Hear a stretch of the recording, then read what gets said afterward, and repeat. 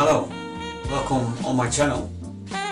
For me, making music and paint abstract is not about showing what you already know, but it's about showing that particular moment. In my painting videos I will learn you this and much more.